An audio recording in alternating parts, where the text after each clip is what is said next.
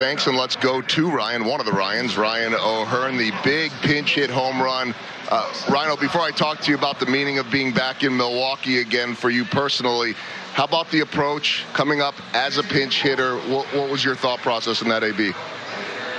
Yeah, I think uh, you know in a National League game, you just never know when you're going to get it, get your opportunity as a pinch hitter. So you know, got to get ready early. I was in there uh, doing some tee work, getting loose, getting ready to go, and then yeah, uh, big at bat. He you know threw a, a fastball, was looking to do damage, and um, you know this is a great place to hit. So that was fun, especially fun to do it here in front of a bunch of family, and uh, you know help the, help the boys win, get this first win.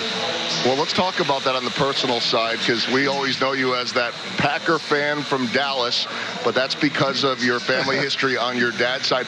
And last year you were bummed out because Yeah. everybody wanted to see you play and they couldn't because of COVID. So what did today mean?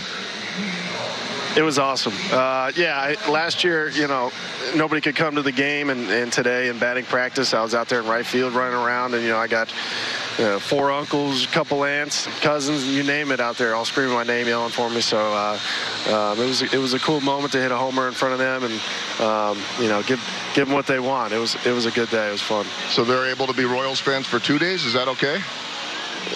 you know, they're Royals fans anytime we're playing. Period.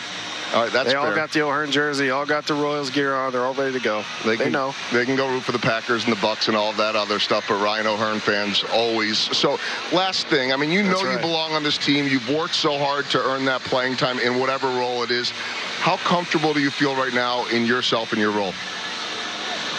I feel good. I mean, uh, you know, obviously you want to be in the lineup, but um, you know they got a lefty going. We want to put our best lineup out there. Uh, you know, I told Skip I'm ready to go whenever, um, and I feel good at the plate. Uh, you know, confident myself. Um, swing feels good right now. I'm just looking for pitches to hunt, pitches to attack, and uh, you know, do damage with them. And you know, I like playing right field too. It's fun out there.